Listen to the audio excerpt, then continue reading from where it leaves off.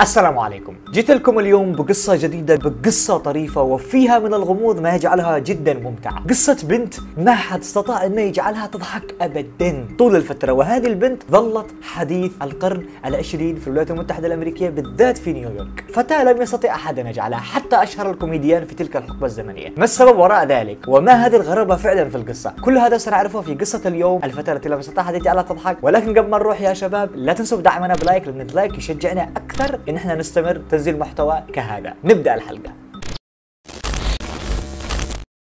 طبعا قبل 100 سنة كان في بنت مشهورة جدا في هذيك الفترة إنه ما حد يقدر يخليها تضحك ابدا. كان في امرأة خلاص امرأة.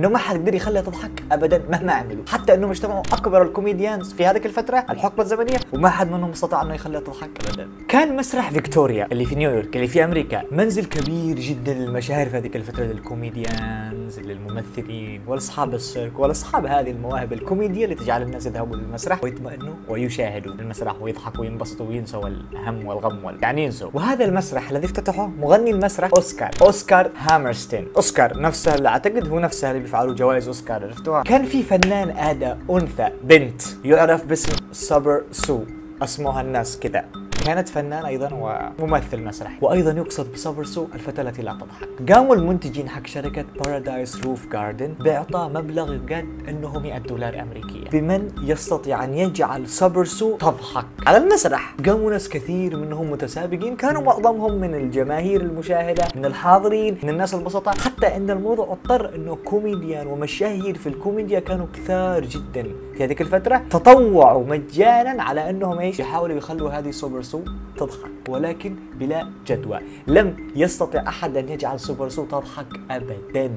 أصبح الناس في حالة من الحيرة والغرابة. إيش الذي بيجعل هذه البنت ما تضحك؟ شو ما هو السبب؟ مجلات وجرائد عالمية في ذلك الوقت تكلموا عن سوبر سو عن هذه الظاهرة الغريبة التي تجعل فتاة. ما بين عظماء الكوميديا في ذلك الوقت في القرن العشرين وإبداعاتهم المستمرة ووجودهم وحضورهم في المسرح ولكن كل محاولتهم لم تجدي نفعا حتى أن صحف عالمية في ذلك الوقت تكلمت سوبر سو وتكلمت عن بالضبط ما الذي يحدث ولماذا هذه البنت؟ كان خبرها على الأرجاء وفي الأنحاء في هذيك الفترة. خبر مدوي وكانت ترند في هذيك الفترة. لأنه أكيد ما كانش في يوتيوب ولا في إنستغرام ولا في فيسبوك. كلمة trends هذه ما أدري كيف كان وضعها بس هي كانت فعلا ترند تعالوا نشوف. New York Times Tuesday June 25 1907 ونزل الخبر في الجريدة بالتالي. سوبر سو تظهر لأول مرة في آه ال mute review آه في ال Paradise Roof Garden Theater في في مسرح فيكتوريا بالليلة الماضية. ويقال أيضا في الصحيفة أنه تم عرض 100 دولار لأي واحد يستطيع أن يجعل هذه الفتاة تضحك. وسموها زي ال mute review زي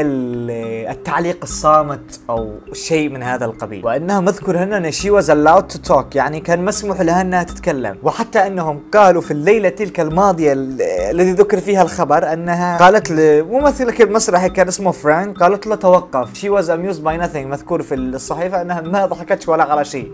وبدت وبدت مستاءة جدا وهو مذكر الآن هنا واحد اسمه فرانك. يعني كيف أقول لك عادل إمام ولا شخصيه عربية مرة مضحكة مرة تنبسط لما تجلس معاها لكن ما بيش فايدة من وجوده. فهذه كانت ردها عليه. وفي صحيفة أخرى The Lima Daily News في 29 June 1907 كمان بعد الصحيفة هذيك بثلاثة بأربعة أيام مكتوب هنا في الخبر a female named Sober Sue. فتاة اسمها سوبر سو is the big attraction at New York Roof Garden. يعني أكثر فتاة مأخوذ عليها الاضاءة في هذيك الفترة أو الاهتمام من الناس. She sure must be unique there. ومكتوب هناك على أنه لابد أن تكون هذه الفتاة مرة متميزة هناك. لأنه لا أحد يستطيع أن يجعلها تضحك. وكمان صحف أخرى كثيرة. فأصبحت هذه الفتاة حديث أمريكا الشمالية. حتى أنها ذهبت لأوروبا بالخبر. الأخبار تناقلت في كل مكان. كانوا يتناقلوا الناس الأخبار والرخاء على إيش قصة هذه البنت وليش ما حد كان يخليها تضحك. وهل فعلا موجود سر؟ لأن في ناس كثير ما تطمرش بيني وبينك للموضوع. فقالوا أكيد في شيء وراء هذه البنت. ليش ما بتضحكش؟ يعني مستحيل بنت تعيش عمرها كله ما تضحكش. إيش كمية الكآبة اللي فيها هذه؟ إيش كمية الكآبة اللي في أمها؟ طفشتني أنا من القصة. طب إيش في؟ لابد ما يكون في شيء وراء هذا. كان في تكهنات واعتقادات من الناس كثير في هذيك الفترة إنه ربما فيها شيء. ربما البنت مصابة بمرض. ربما البنت مصابة من شيء بيعيقها من حركة وجهها. حركة أعصاب الوجه يعني إنها ما قدرتش تضحك ولا تتكلم. لكن في ناس كثير قالوا طب لو فيها شيء في وجهها طب ليش مذكورة في الصحيفة في 1907 إنها تكلمت؟ لو عندك يعني مشكلة في حركة الوجه أكيد بتبان فيك ملامح ضحكة. أكيد ما بيكونش فيك 0% إنك ما تضحكش. فكان كل واحد يجيب دليل وكل واحد ينفيه كل واحد يجيب دليل. يعني لو فيها مشكلة في حركة أعصاب وجهها أكيد ما تتكلمش.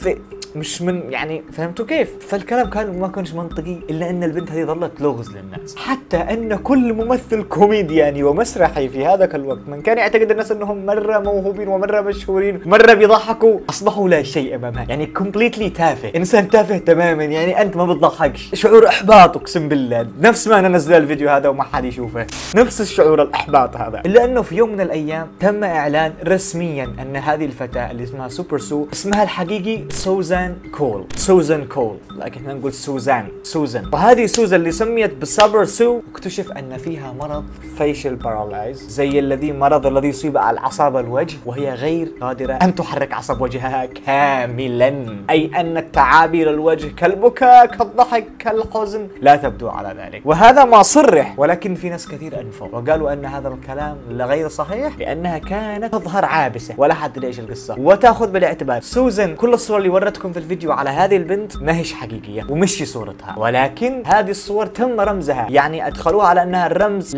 للعبوس. رمز إنه شخص ما تضحك. ولكن حتى إن سوبر سو هذه البنت إن لم حتى إن كانت مصابة أو غير مصابة إلا أنها أصبحت الترند في هذه الفترة لأي شيء يخص المسرح حتى إن هناك ممثلين كبار جدا في هذه الفترة كانوا يقولون لقد فعلت مسرحية حتى سوبر سو بنفسها لا تضحك عليها. فسوبر سو كانت ترمز للشيء الصعب للشيء الثقيل للشيء القوي. يعني أنت إذا قدرت إنك تجعل سوبر سو تضحك فأنت بتقدر تجعل أي واحد في العالم يضحك بسهالات. في ناس أيضا افترضوا أن سوبر سو هذه مصابه بالعمى ربما هي ما بتشوفش بس جالسة تكذب. ولا ليش ما بيعجبهاش أدائي أنا كممثل ناجح وكممثل عبقري؟ أو إنها صماء مصابه بالصمم الجزئي ولكن في شتاء 1907 اي إن الموضوع لم يمر عليه سنة. حتى بان كل الخبر. قالوا الأطباء كان من المستحيل على سو على السو كانوا يسموها سوبر سو ولا سو كان مست... كان من المستحيل جدا على سو أن تضحك؟ لأنها كانت تواجه مشكلة عصبية في الوجه. مما جعل الأمر شبه مستحيل لها أن تبدي أي تعابير وجهية. في وقت لاحق كل الممثلين أصيبوا بانهيار مش طبيعي. بعض الناس يمكن اعتزلوا المسرح حس إنه تافه. فكلهم شعروا بجزء من الاحتيال عليهم أي أن الشركة التي كانت تأخذ سوبر سو في المسرح وكانوا يعطون الناس فلوس. من يقدر يضحكها؟ وكانوا يجمعوا ناس كثير في المسرح عشان يشاهدوا. كانوا يدخلوا فلوس. كان مسألة business بالنسبة لهم. لأن القصة كالتالي. كانوا يأخذوا سوبر سو صح؟ ويقولون نجيب 100 دولار لكل واحد يقدر يضحك هذه. وكان يدخلوا الناس يحاولوا يضحكوا. فايضا كان في ناس كثير يحضروا المسرح عشان يشوفوا هذا النوع من التحدي الذي أصبح في نيويورك هذيك الفترة. جزء من المتعة. كأنك بتشاهد برنامج مسابقة ومن هو الأفضل؟ من هو الأحسن؟ من هو بيحصل على الجائزة؟ فكان في جزء من التنافس. فكان أيضا كما ذكر في صحف وفي مصادر عالمية أن سوبر سو كانت تتقاضى أيضا مبلغ بسبب بس جلوسها هناك عشان تقيمهم على أساس شيء من هذا. فكانت تأخذ مبلغ ما يقارب ال 1000 دولار في هذيك الفترة. وكان 1000 دولار في هذيك الفترة مبلغ مش سهل. أنا بكلمك في بداية 1900 و something 1907 أي أنه هذا الكلام حتى قبل الحرب العالمية الأولى. تخيل أنت الموقف. فظنوا الممثلين أن الشركة هذه كانت تحتال عليهم فحتى أنهم قاضوهم رفعوا عليهم قضايا بالإحتيال. والله إني ما ألومهم الصدق. وكل هذه القضايا وجهت لويلي هامرشتاين اللي هو كان المدير حق بارادايس روف جاردن مسرح اللي في نيويورك وبعد ما رفعت القضية تمت غرامة ويلي ب 20 مليون دولار دفعها كتعويضات لكل الناس الذين أصيبوا ودخلوا في حالة نفسية وكذا وانهاروا يعني. مع الموضوع والله يعني حرام عليك يا غالي حرام. ليش كذا ليه؟ والله حرام عليه يا أخي حرام يعني. ولكن قدر أرباح هذا المسرح بالملايين الدولارات بسبب الزيارات المتكررة حتى في ناس كانوا يجوا من خارج الولايات المتحدة الأمريكية ومن كندا ومن دول كثيرة عشان يشوفوا هذا التنافس عشان يشوفوا فعلا من اللي بيخليها تضحك يعني هذيك اللي ما كانش في انستغرام ما كانش في يوتيوب ما كانش في وسائل تواصل إن الناس ممكن إنها تشوف عن بعد. فكان ما يجعل الإنسان نفسه بيحاول يروح. يمكن حتى التلفزيون ما كانش متواجد في هذيك الفترة. بالشكل يعني فهمتوا كيف؟ ما كانش حتى في تلفزيون يمكن. فهذا كان. خلي الناس يروحوا يشوفوا إيش القصة. ما كانش معاهم إلا عصر الجرائد والكتب والقراءة. مع ذلك كان معظم الناس في هذيك الفترة مثقفين جدا وفاهمين الحياة.